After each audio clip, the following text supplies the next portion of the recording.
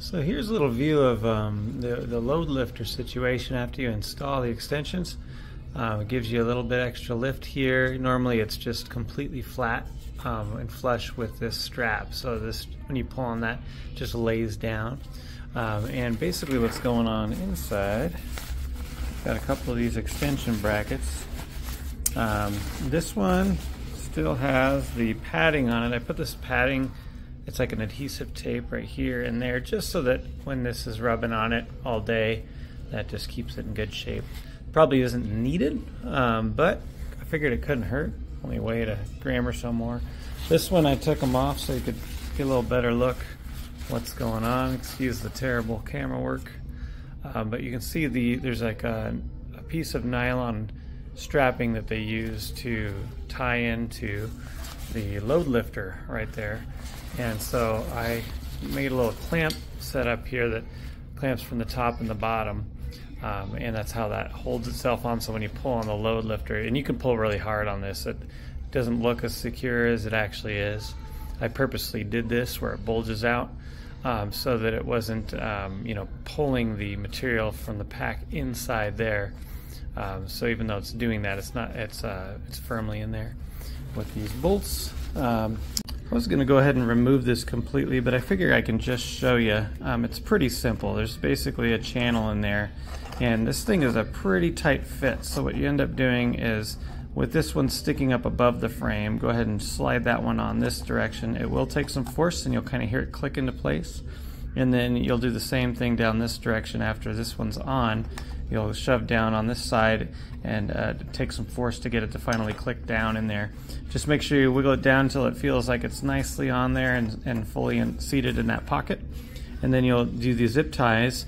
Uh, a little trick with these is after you wrap them around and get the tag end coming out, you can grab that tag end with your pliers like a pair of needle nose and grab right up next to that little area right at the front and then twist it and twist, twist, twist, and it'll just eventually snap off. It'll tighten it really tight, and then it'll snap off.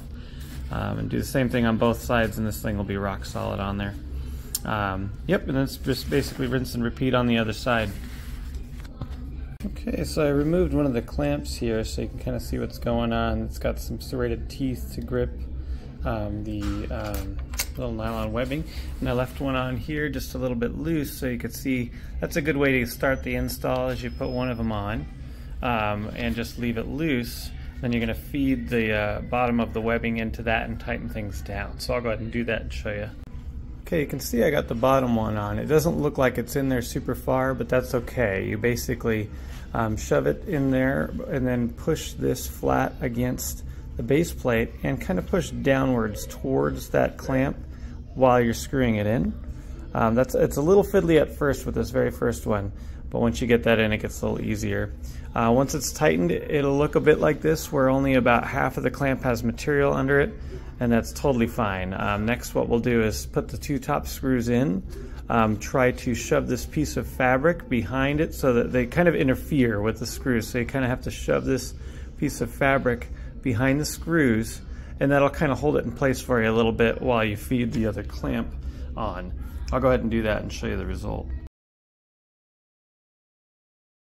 Okay, now I've got the clamp on there loosely and what you want to do is before you tighten it down kind of push right where the the uh, connector or the load lifter connects upwards to kind of push it into the clamp as good as you can and then tighten everything down.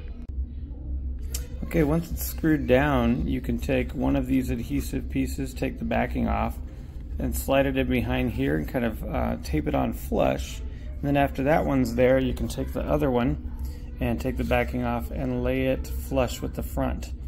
Um, and that'll just protect your fabric um, from, you know, friction rubbing over time. I think it would probably be fine without it, but it sure, certainly can't hurt. Last note is uh, don't be afraid to, to tighten the screws down pretty dang tight. You're not going to break the plastic and um, that'll make sure that when you, you want to be able to pull on these with some force and you can test that after you're done to be able to pull on that strap while holding onto the bracket and just make sure that you can tug on it pretty good um, and it doesn't slip at all.